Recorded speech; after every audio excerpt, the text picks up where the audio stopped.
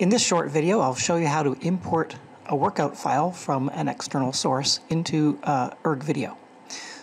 So um, you can have erg files or workout files from various sources, either format .fit, .erg, or .mrc.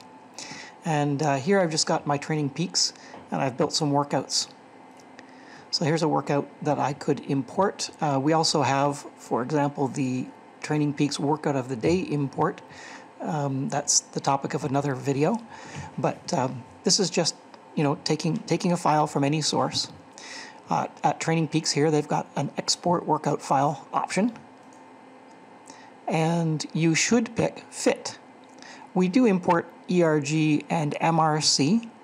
However, we're going to be providing more functionality and more features around the fit format and the features available uh, uh, around these formats are going to be limited. Okay, so uh, click fit and it will go into your, if you save it, it will go into your downloads folder.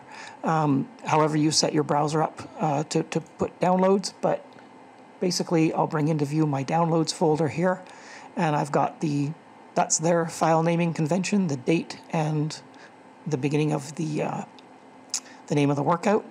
And ErgVideo will create a folder in your documents for each for each user, ErgVideo data, and if you are an ErgVideo customer, you're familiar with this um, place because it's where we store your performances and your reports and settings. So we create a, a folder, excuse me, a folder called Workouts, which is your default destination for workouts. So just go from your downloads, drag and drop into your workouts folder, or actually you can put it anywhere on your system if you'd like, because we have a facility in ErgVideo to redirect your default, um, or the folder that, that we look at by default. So uh, launch ErgVideo.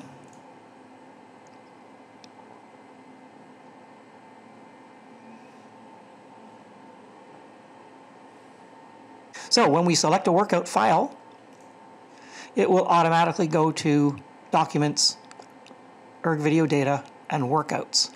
And I guess I do modified. I've got camel humps there.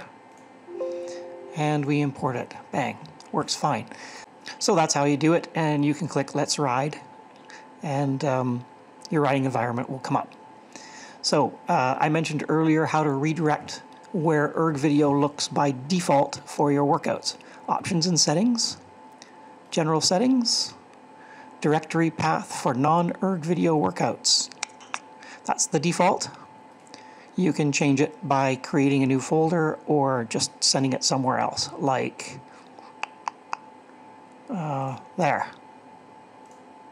And of course, then the next time I say select a workout file, it's going to that folder. Okay. So there you have it. That's how to import external workout files into the ErgVideo environment so that you can uh, take advantage of the ErgVideo free um, features that allow you to ride Erg files. There we have it.